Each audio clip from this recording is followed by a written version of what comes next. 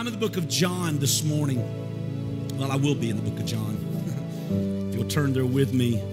I we, we've begun each week that we've been speaking to this um, in Acts chapter 1 and also Acts chapter 2, where it says they began to speak in other tongues that the Spirit gave utterance. And also Acts 1 8, where it told the disciples to wait for the promise of the Father and you shall receive power. After that, the Holy Spirit comes upon you, and you shall be my witnesses in Judea, Jerusalem, Samaria, and to the uttermost parts of the earth. So that's the context. God is a supernatural God, and God is doing supernatural ministry and miracles beyond that we could ever imagine.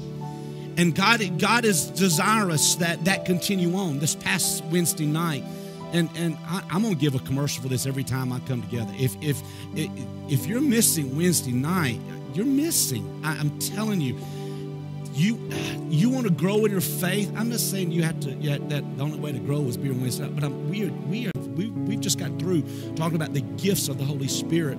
And uh, I'm not exactly sure where God is leading. It could be on the fruit of the Spirit. Uh, this the Wednesday. I'm not for sure yet, so don't hold it to me. But we we get down to some nitty gritty business of with God. God just shows up and and it is revealed even by people how uh, just the discussions and we give time for that for questions and uh, encouragement. It is, it's just phenomenal. And so one we got in discussion on was that god says you'll do more than i did. Can you can that can you even wrap your thoughts around that that god says you'll do more it's like, how, how can we do that? What does more mean? I don't have the clue on what it all means. I mean, there's more today than we could have ever imagined that propagates, that, uh, that sends the gospel forth. I mean, satellites moving, I mean, sharing ministries all around this world. I mean, churches on every corner. And so, yes, I believe more, but I also believe, too, more individually through us. How many is expecting miracles through your life? More. Somebody shout more. Amen. Well, that's where we've been at. So God says in John chapter 4, verse 23, it's a great passage of scripture. This is in the passage and the context when Jesus was talking to the woman at the well and the, uh, the Samaritan Jew issue and uh, uh, what the Samaritans believed, and they, of course, they couldn't even have contact together. And the audacity, the disciples couldn't believe that Jesus was talking to the Samaritan woman. But you know, Jesus knows how to transcend every racial issue, every circumstance, and uh, nothing is a barrier to the Lord. He is the one that calms all situations and he went through this and, and he began to speak to this woman and, and i won't take time to go on all that but verse 23 something that he spoke uh, and she was getting the idea of, uh, well, this is how we were taught to worship on this mountain. This is where this place we were taught to uh, that we must worship here in Jerusalem. Uh, she said, I, I, know you're a prophet, and our fathers worshipped on this mountain, and, and you Jews claim that the place where you must worship is Jerusalem. So they were not bantering uh, uh, accusation or against each other, but she was sharing her thoughts, and Jesus was sharing the one. He said, You know, if you'll drink of me, water that I give, I'll give you an incredible life, incredible that you'll never thirst again. And so it's in that context. now go down to verse number 23. He says it this way He says, A time is coming and has now come when the true worshipers will worship the Father in what? Spirit and in truth. And it says, For they are the kind these individuals that will what? Worship spirit and truth. We're going to define that in a moment. But it's these, these are the type of worshipers he, that the Bible says he seeks. Verse 24 says, God is spirit, and his worshipers must, say it with me, his worshipers must worship in spirit and in truth. Father, thank you for your word that is so alive. We honor you. Praise you for your anointing this morning give you thanks in Christ's name. Amen. Amen. We give you glory. Thank you, Father. Jesus said he's looking for those that'll worship in spirit and in truth. Now, to kind of get us kind of get us started here for a moment, and uh, we're talking about supernatural worship, and then we're going to end up with supernatural victory and um, we're just going to just end up for a few moments worshiping around the throne here this morning, uh, the throne of God, and worshiping Him together. But uh, I've heard this scripture all my life has is, in our should say my ministry life and being raised in church. And and we hear the scripture we say it. God's looking for those that worship in spirit and in truth. And we kind of use it as a as a uh, a builder of faith and builder of our uh, what we know god's called us to to worship. And yes god wants to worship in spirit and truth and we get excited about it. But we do we really know what it means to be a supernatural worshiper? What does it mean to really worship what does it mean and what does it not mean? Folks, I, am just going to say very strong, honestly, this morning, there are some things that are happening today in the church. When I say the church, I'm not talking about a specific locale, I'm talking about in the church. That is, I believe, true worship, and there's some things that's true flesh. You know, I, I just think that very honestly. There's some things that I, you know, it's more flesh and it's not God. And it's, it's you know, it, it blesses the flesh. I mean, I, I believe in having a great time, but it blesses the flesh and doesn't bless God. And, and I think there's some dangerous things that, have ha- that are happening that we need to understand what true worship is, what it means to really worship. Um, the, the Bible says here, several things, just a thought here. The place of worship is not the issue. If all you do is get ready to get your praise on on Sunday morning and don't worship, something's wrong with that. If you can worship in here, but you can't worship there, something's not right about that. Well, my place of work, this is this is my house. I, I, I go to First Assembly of God and we, we, we go for Sunday morning worship. Well, what about your Tuesday worship? I mean, can you get up on Tuesday and worship the Lord? Can y'all get up on Monday and say, oh, I want to go, ah, it's just, it's work again. This is the day the Lord hath made, and I will rejoice and be glad in it. Worship is not about a setting. Worship is about an attitude. And so his primary concern it's worship in a particular place. The woman said, Well, we were taught to worship here and you were taught to worship there. God says, I'm a spirit and I'm calling you to worship me wherever you're at in spirit and in truth.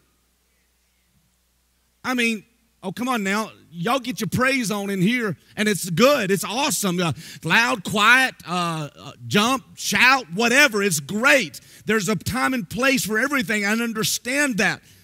But worship is more than just a place. If we can't worship on a Monday and Tuesday, something's wrong with our worship on Sunday because we've uh, denigrated it to just a place. Secondly, he says in spirit, it points uh, to a level or depth at which true worship occurs. Sometimes worship starts and stops right here. I mean, you can now, now please go in on this. You can teach children how to worship from here. But you can't teach them how to worship from here. That they have to learn in their relationship with God. Because kids can mimic all of us. How many, how many kids growing up, you grew up in church? When I say kids, adults. How many of you played church growing up? You play church. You knew how to shout. I mean, people. I, have been in. I've been in churches. People can say, "Yeah, Amen, Pastor." They don't mean it. You just got a crescendo going on. How many understand music? And, and music is great. I, I, I believe in music, but sometimes music can move you to a place that's not true worship. That don't mean it can't move you to a place that is true worship. Sometimes it can become emotionalism. People say, well, I, I, I don't want to get emotional in my worship, so I'm, I'm, I'm very somber in my worship. No, you're very prideful. You don't want anybody, to, you don't want to get excited about anything. So come on now. Worship is not just a place, and worship is not just uh, from my mouth. You know, the Bible speaks about some worship from their, their mouth, but their, their heart is far from Him. Turn to somebody and say, Where's your heart? Come on now. True worship's got to come from the heart, and it has to reflect godly character and a deep inner devotion to God. And also, he said, worship in spirit and in truth. That word truth is a primary characteristic of God's nature, and it's personified in his Son, Jesus Christ, and it's also at the heart of the gospel message of Christ. True worship must be reflection of and response to the truth of the Father that is revealed in the Son through and through Jesus Christ and through the Spirit. And those who encourage worship that is not based on the truth and teachings of the Word of God have rejected the only real and legitimate foundation of what true worship is. True worship, I, we, I, and, I don't even necessarily like this terminology. Okay? I don't like this, but we've had, quote, and I put it in quotes here, but we've had what they call worship wars. Now, I've been involved in music and singing all my life before I wanted to. My dad would have me. I've been involved, and, and I have seen, I have seen a transition of different styles of music, different way of worship, uh, transcended uh, ages and then uh, uh, uh, and, and i've seen it music. I remember when even as a, uh, a kid when, and i'm on pre i'm dating myself i understand this. I mean i remember years ago when uh, my mom and dad used to take me to the all-night gospel sings. The kingsmen. The happy goodman family looking for. I can't do it for a city. I'm dating myself. None of y'all have no clue what I'm talking about. Rusty Goodman singing. See, now all of a sudden, y'all, eh, some of y'all getting a good feeling. Wow. And I did too, because it meant something to me. He, Rusty Goodman singer wrote the song, Who am I that a king would bleed and die for? How many never heard that song in your life? That's probably 60, 70% of this house. And so I remember going to all night sings in Bonifay, Florida, and seeing being raised on hymns and and that place. And, and please do not think I am making any fun or making anything because that's my foundation. You'll see me go old school real quickly sometimes into hymns. I, I there is a strong foundation of words that sometimes some of the songs today have nothing to do with Jesus.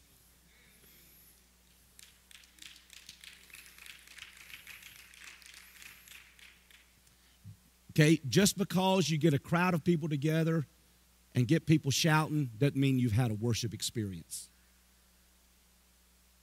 Bible says worship in spirit and in truth. So I saw a transition of worship styles, stylistically, from my younger uh, grade school uh, days to in my teen years, and I started seeing when. How many remember when Truth came out? You talking about Truth of God? No, it's always been out. Uh, Truth was a group. It was a contemporary group. One of the first, uh, them and, oh, I'm trying to remember some of the others, if y'all know some of them. Petra. Oh, wow, that, that takes me back to my youth pastor days. I mean, and it started, things started changing. And so I, I would start going to the truth concerts in, in, in school. And, and I saw even in church transition from singing from a hymn book to now we're singing on the wall. Now, please, not off the wall. Okay? But we're singing, and now today we have electronically. Now, does that mean because we don't sing from a book, we're not worshiping? No. Well, what if we do sing from a book? Does that mean we're not in style? Nope. There's just different styles that people. Now, this is not my my my um, what I'm trying to hang on to. I'm just trying to bring a point out. So stay with me. Don't please tell somebody beside you. Don't get offended. Because I'm not here to put anybody's style and tradition of worship down. But sometimes, well, we're going to be like the Samaritan woman if we're not singing the latest, greatest course. Well, I worship when I sing that. Well, I'm not worshiping because I don't know those newfangled songs and loud stuff, and so I can't worship unless I'm singing what I heard when I was a kid. And the reality is, we can be so tied up to a traditional form that it loses the value of what true worship is all about. Everybody smile. And this is what they have called worship wars over the years. People that have grew up singing hymns and now they sometimes feel like, well, well, uh, what, where's where's the old songs at? I don't I, I don't know this new stuff. But then I have also seen people that say, well, I'm willing to forego what I feel I like to sing in order to reach a new generation with a new style of worship. So the idea is not the song. If you can only worship with one style of song, something's wrong with your worship. Because worship is not about a song, worship is about a, hat, an attitude. Worship is not about if the lights are on or lights are off. Worship is not about if you got a 10 band member or one guitar. Worship is not about if you have all the latest, greatest electronics. I mean, I, number one, I thank God we have been able to evolve into some great, great electronics and it enhances so you can see the songs. I mean, we are in a different day. Does that mean I'm going to do away with my foundation and my traditions? No, I'm not. I'm going to still uh, incorporate all that the rest of my life. But but my salvation is not based on a worship song. My salvation is based on my walk with Jesus Christ, the blood of Jesus Christ. So, understand I, I, in emotional and, I, and I'm not a psychologist here. I've studied. I, I've, I've, I know the psychology of people. I've been in ministry and dealt with people all of my life. I'm, and, and most of you understand what I'm talking about. It, it dealing with people, and we and we're all funny. I'm just saying it for y'all. Y'all are not smiling at me right now, but I'm just saying it for you. You're, uh, you were, you were, you were. Some of y'all are, are almost on the line of offendedness right now, but uh, God's going to let you help you get over it. And uh, uh, because I, I'm not trampling on anybody's style of music. Now, I can't say that I get all the new stuff today. I don't understand. But if it's reaching a generation, I'm talking about true worship. Too much today is about lifestyle, and not enough is about Jesus. Too much, and, and, I want, and I'm just going to say from my heart today, too much, too many songs today is about person, and it's not about singing out to Jesus Christ. That's what worship is all about. Now, I understand there's got to be a level of, of cry out. You know, we just sang the song, I Surrender. I mean, it's, it's, it's about me. It's not about me, it's about Him. So, if I can't worship with the latest or worship with something, if it takes a particular style, then something's wrong with my attitude inside. But however, the psychology of all of us is this we all uh, uh, uh, go over to a particular way we were raised and what blesses us. And there's nothing wrong with that. I mean, we like that. And, and most of you listen to what, what blesses you, and you find Jesus and find the attitude, and that's awesome. It's great. But if we think just because something else comes on, say, well, I, I, can, I don't know that, so I'm not going to worship to that. And, that, and that's not God because it's not. No, no, no, no, no. How many this morning you feel like it don't matter what's happening? My worship is not about a style. My worship is about the King of Kings and the Lord of Lords. Amen? Now, if mo- most of you understand, if you don't like one song we're singing, hang on. Most likely we're going to get something that you're going to like because we, we do a very a variety of stuff here, and that's my intent. Now, yes, we are going after a young family, that uh, the, a generation, but that doesn't mean we're going to do everything just to reach. You know, I'm, we are not just seeker sensitive. We want to be Jesus sensitive. We want to be Holy Ghost sensitive here. Amen. And God will change something just on the fly sometimes. So the point is, is worship is spirit and in truth. All worship must lift up the Lord, not the worshiper.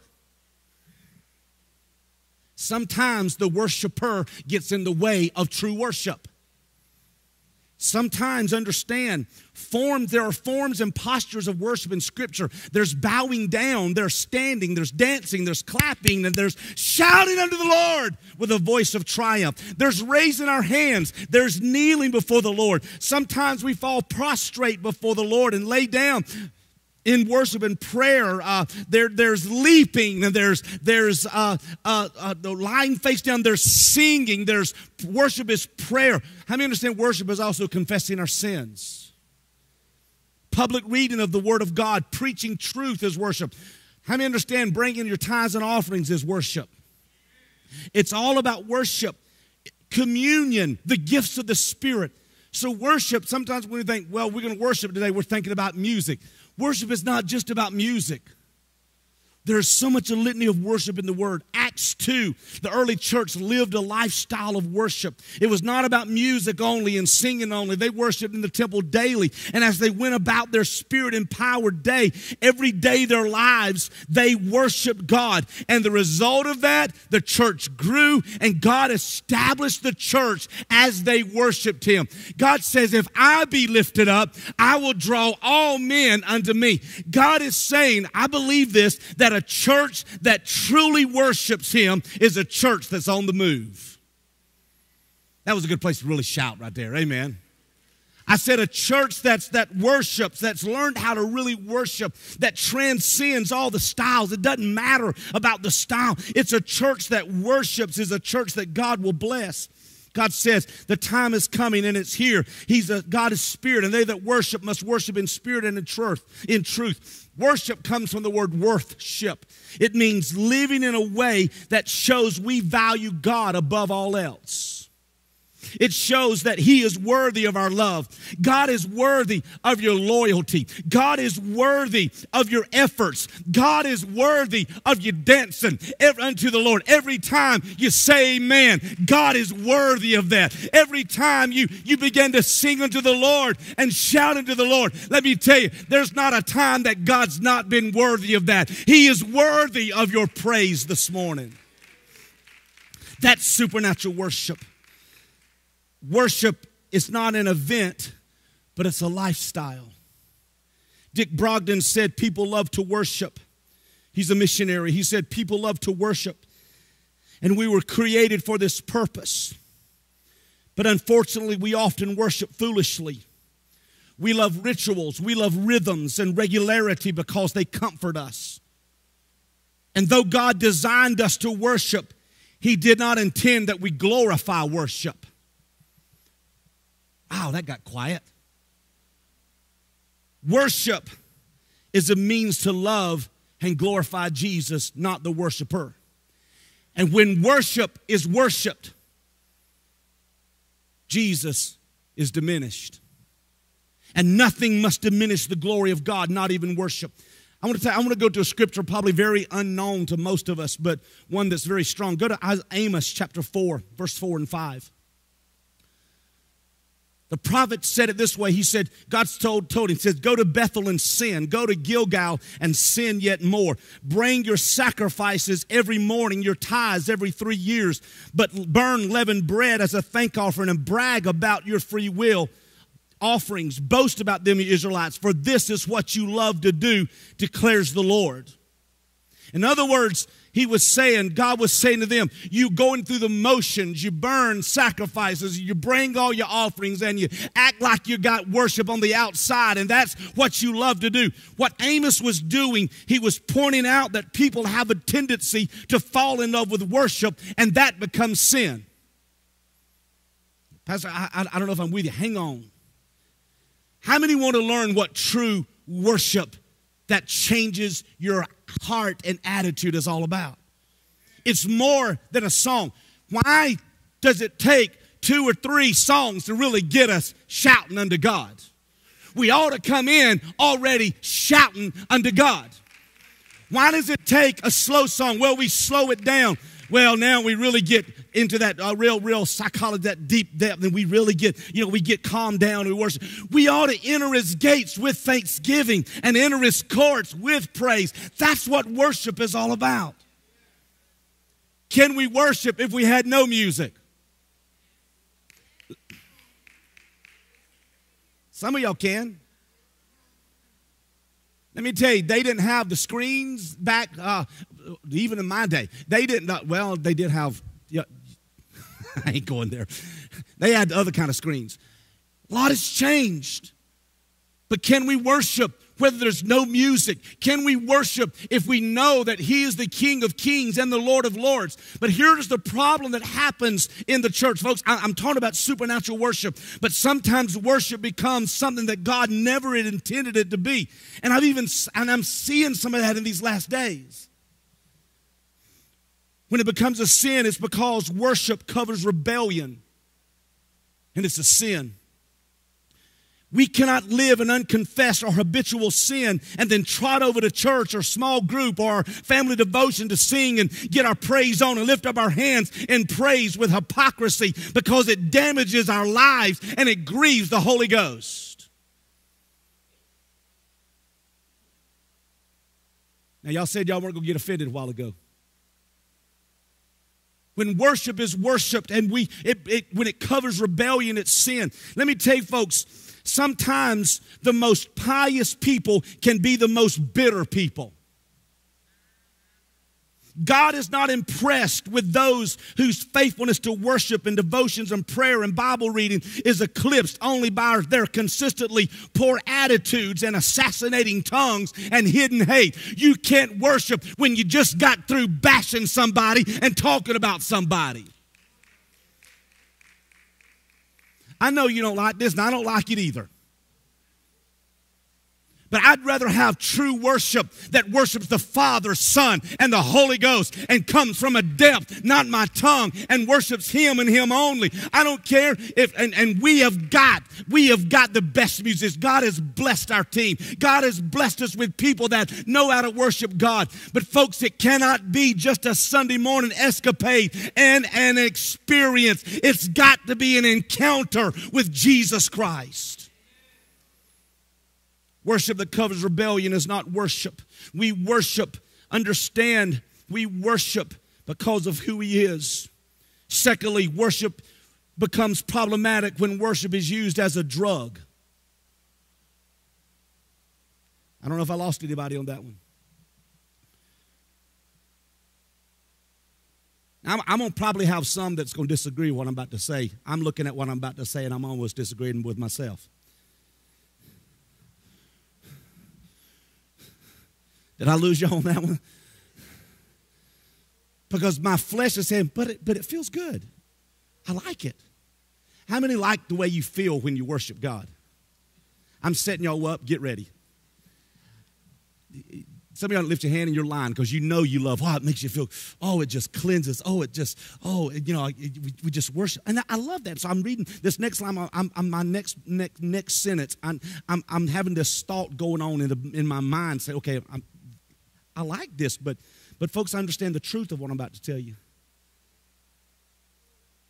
Worship is not supposed to make us feel good. See, I told you I'd lose y'all.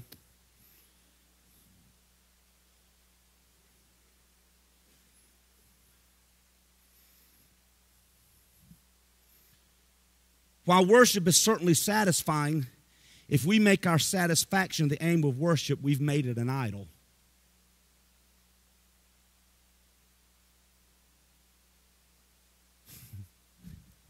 yeah, I wrote it's there in my notes. It's because what we have done, okay, I'm going to take we other, what I have done too often. It had to do with what I felt. If I don't feel something, then I must not really got in connection with God and then Satan says something's wrong with you. And we've made the aim of our worship to be those that make us feel good when the aim of our worship has not to do with us, it's about Him.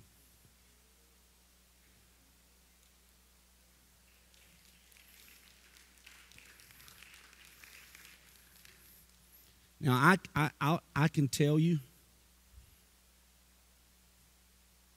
This is this is going to just be plain, folks. I mean this. I don't want to do this, but it's easy to do this. I understand you can move people with music?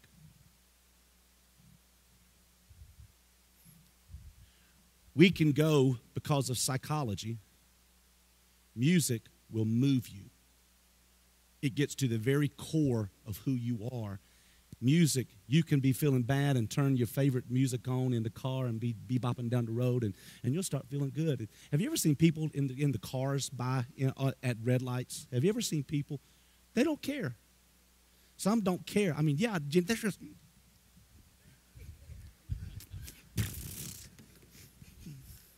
And you're driving by them.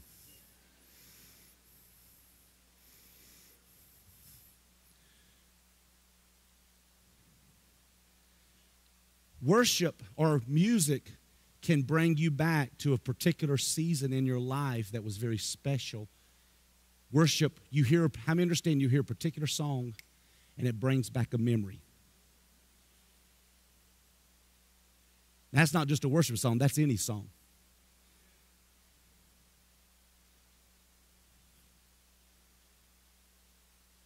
Maybe a particular song that was that was y'all's song. Oh, you know what I'm talking about. How many understand you had a song when you were dating?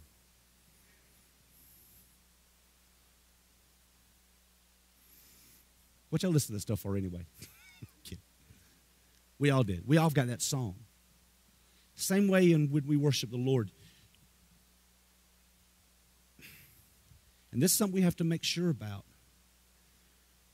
You can move people the same way with, quote, Christian songs, the same way you can with secular music.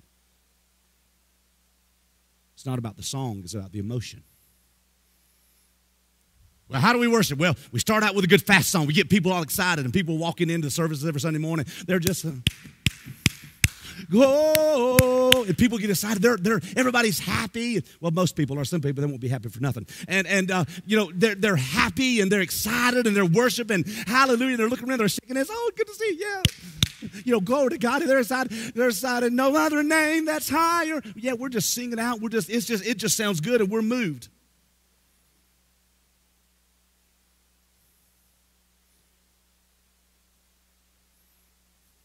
I'll never forget. I, I will never forget. I got y'all. I got to stop. I know we got afternoon activities, and I was I was going to stop at twelve o'clock today. Oh, help me, Jesus. I remember growing up on some of this. We'd get to that. We'd, we'd, we'd get to that four four double beat. We'd get uh, uh, when we all get to heaven. What a day of rejoicing that will be. When we all when we all see you know we I, I'm telling you what, I, and I know I'm old school in some of y'all. Y'all have no clue what I'm talking about. I'm telling you, it would move our church. It'd move me, and I'd get. That's what. I, that's my stuff. I was raised on.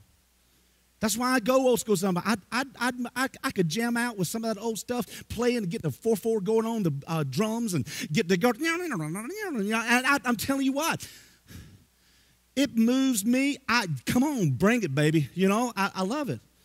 But just because it sounds good and feels good and everything's going good doesn't mean it's God. Just because I sing a song that somebody else wrote, serving and seeking God, doesn't mean I'm in the same attitude and strength of where they're at. It just means I love music. I was raised on it. Is everybody okay? I want to ask our worship team to come real quick.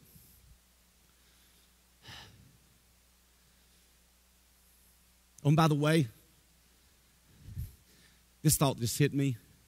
Our worship team is not just those that's coming to the stage. That's all of us. Would you stand with me?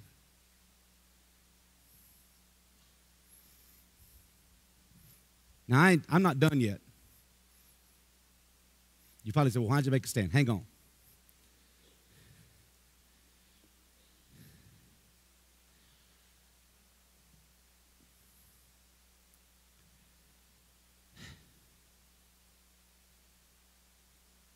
Dick Brogden said it this way. He said, Worship is not supposed to make us feel good, while worship is certainly satisfying. If we make our satisfaction the aim of worship, we've made it an idol. He said, We have diminished the worth of Jesus and treated worship as an over the altar drug. Worship is not about us, it's about Jesus. If we worship only when we feel like it, or in order to feel better, we demonstrate that Jesus is worthy only of occasional adoration. We're called to worship Jesus because of who he is, and the purest worship is not based on feelings or emotions. We worship because of who God is, not because of what we feel or hope to feel. Amen? Now, that does not mean we don't feel when we worship. Feeling is not the highest thing feeling should come as a result that I'm gotten into the presence of Jesus. If that's a hymn, praise God.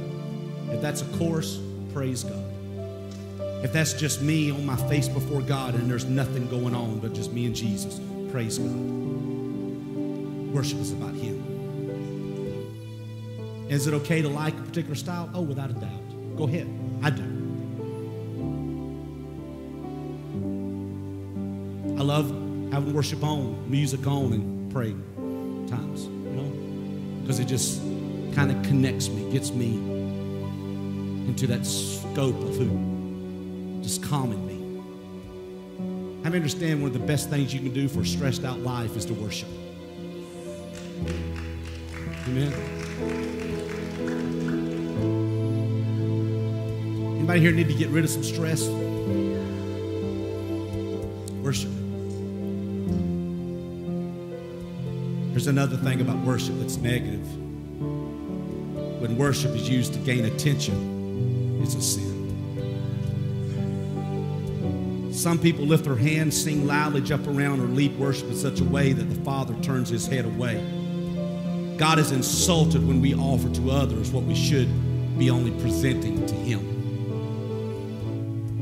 It ain't about me. It's not about you. It's not about how loud I can sing. It's about Him. Come in expecting, not to get my praise on, but just simply to come in and to lift up the name above every name. If I cry, great. If I smile, great. If I feel good, great. If I don't feel good, I'll never forget what I heard, wrote, or read years ago, a few years ago in a book um, by Mark Batterson, one of our Assemblies of God ministers up in Washington, D.C. He said, Don't let what's wrong with you stop you from worshiping what's right with Him.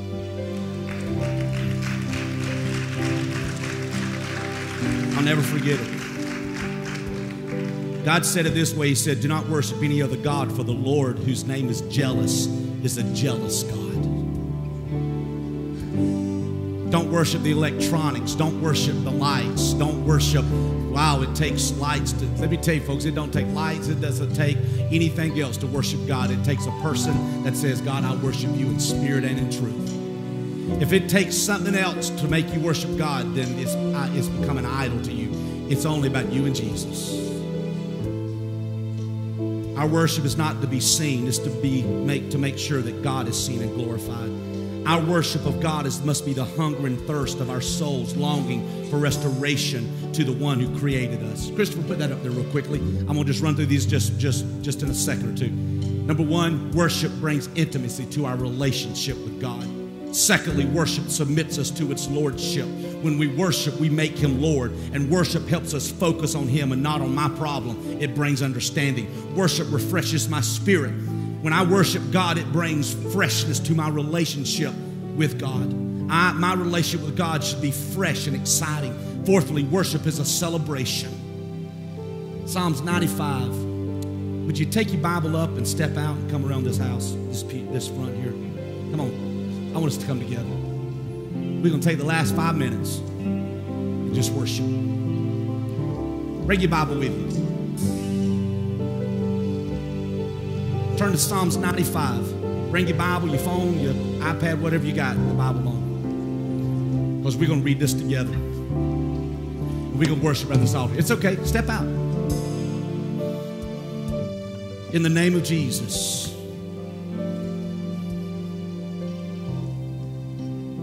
This is what worship is about. And it may be up on the screen if you want to put it up there, son. Psalms 95, verse number 1 says, I want you to read it out. Now, if you're reading whatever version you're reading, I'm, I'm reading for the New International. Read yours from the King James or uh, NASB, whatever you have. Doesn't matter if we're reading it differently, it's all saying the same thing. Read this aloud with me. Come, let us sing for joy to the Lord. Let us shout aloud to the rock of our salvation. Let us come before him with thanksgiving and extol him with music and song. For the Lord is the great God, the great King above all gods. In his hand are the depths of the earth, and the mountain peaks belong to him. The sea is his, for he made it, and his hands formed the dry land. Come, let us bow down in worship. Let us kneel before the Lord our Maker. Say it aloud with me. For he is our God, and we are the people of his pasture, the flock under his care. Verse 1 again says, Come, let us sing for joy to the Lord. Let us shout aloud to the rock of our salvation. Can we just take a moment and just, with nothing else, not being prompted to sing, not being prompted to do anything else? You can shout, you can not shout, you can stand, you can sit, you can kneel, whatever. But right now, would you just worship the Lord? There's not a right word to say, there's not a right song to sing. Worship is just simply saying, God, you're worthy. You're worthy of my praise. You're worthy of me to lift my hands up to you, Lord, because you are supernatural God. You are magnificent. You are holy. You are glorious. You are strong and mighty. You are God. You created me. Just tell him what he means to you. That's worship. People say, Well, I, I, I don't feel I'm worthy. Let me tell you, it's not about your worth, it's about God's worth. I don't feel I'm able to. Yes, you are. It's just simply telling our Father who art in heaven, hallowed be your name. Worthy is your name. Lord, I worship you. Lord, I praise you. I'm telling you, folks, if we get to that place where we'll truly worship God in spirit and in truth, be unlimited what God will do in this house.